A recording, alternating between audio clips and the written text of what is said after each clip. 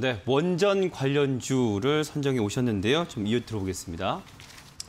자, 원전 관련주는 우리가 그 12년 만에 한번 기회가 오고 있는 것 같아요. 그래서 우리가 중국에서 원자력 발전 투자 확대하면서 탄소 배출 줄이기 위해서 핵심 방안으로 지정을 하면서 중국이 탄소 중립을 선언했어요. 2025년까지 원전 20개를 더 진다고 합니다. 네. 근데 우리나라도 어떻게 보면 원전에 대해서 이제는 탈원전 정책에서 좀 어느 정도 지금 그 부분에 한계가 있는 상황이기 때문에 그동안 눌려 있었던 원전 관련주를 지금부터는 좀 집중적으로 볼 필요가 있겠다 말씀을 드리겠고 현재 그 중국 같은 경우 미국과 프랑스에 이어서 세계 세 번째로 원자력 발전량이 많은데 현재 13곳을 새로 건설 중이라서 적어도 2025년까지는 7개의 원전을 더 짓겠다는 의미로 받아들일 수 있겠습니다. 네.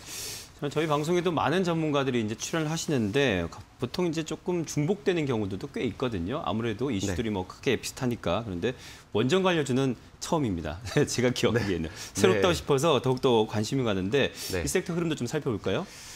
자, 대장주를 일단 본다면은 뭐 단연 한전 기술입니다. 한전 기술 또 시총 상위주 좋아하시는 분들이 이게 지금 보면은 2010년 이후에 원전 한전 기술이라는 큰 기업이 14만 원에서 12,800원까지 떨어지고 나서 이제 이런 종목들이 있기 때문에 증시에 받쳐주는 대형주가 있는 거예요. 그래서 이 한전기술이 플랜트 관련해서 엔지니어링 업체인데 유일의 원자로 계통 설계, 원전 종합 설계를 하는 회사죠. 그럼에도 불구하고 주가 그동안 오르지 못했으니까 여기는 당분간은 이제 상승 추세다라고 생각을 해가면서 눌릴 때마다 관심을 가져야 되는 sector가 또 한전기술이고요. 또 오르비텍은 또 중소형주죠. 중소형주인데 여기는 또 항공기 부품하고 원자력 발전소에 그래서 여러 여러 가지 이슈가 엮이면서 중소형주임에도 불구하고 주가가 올라가고 있고 또 보성파워텍은 개인 투자자분들이 정말 또 좋아하는 기업이에요. 예전에 대선 테마 주면서 떨어지고 나서 정말 많이 떨어지고 나서 최근에 조금 거래량이 붙어주고 있는 정도라고 보시면 될것 그렇죠. 같아서 네. 이런 관련주들이 지금 슬슬 움직이고 있다라는 이, 이 종목들 말, 말고도 많습니다. 그래서 우리가 그중에 최선호주를 찾아볼 필요가 있겠다 말씀드리겠습니다. 네. 그렇다면 최선호주는 어떤 종목을 찾으셨습니까? 자, 좀 실적이 알짜이면서 좀 올라갈 수 있는 모멘텀이 있고 기관들이 관심 갖는 종목 우진을 한번 말씀드려 보겠습니다. 우진, 네. 여기가 이제 산업용 계측기 설비 진다라는 회사예요. 그래서 상장될 때 굉장히 이슈가 됐었던 기업인 걸로 알고 있습니다. 그러니까 최대 원전 건설 시장으로 떠오른 중국에 진출을 하면서 중국 세계 4위 원전 강국으로 도약을 하고 있습니다.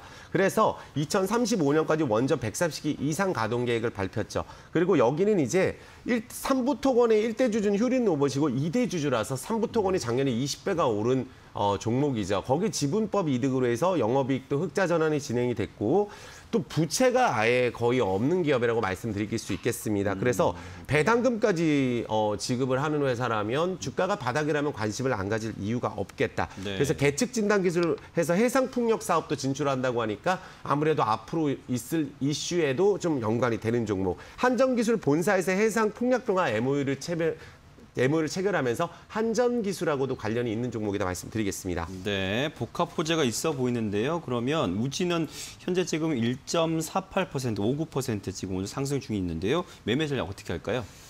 자 여기가 정말로 어, 지금 최근에 투신권에서 살짝 관심을 갖기 시작을 했어요. 처음부터 왕창 산 걸 하는 게 아니고 이게 쭉 꾸준히 들어오는 종목이냐 아니냐는 우리가 판단을 했을 때 들어오는 것 같습니다. 그럼 이제 기회라고 보면 되겠죠.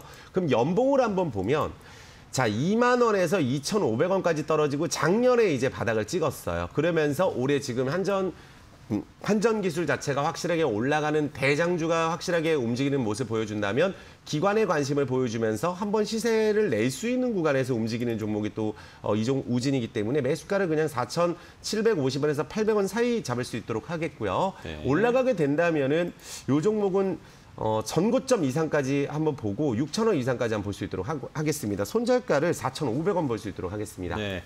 자, 우진 현재 지금 4,810원 정도에 거래되고 있는데 매수가 밴드 안에 있다 보여집니다. 손절가 4,500원, 목표가는 6,000원 제시해 주셨습니다.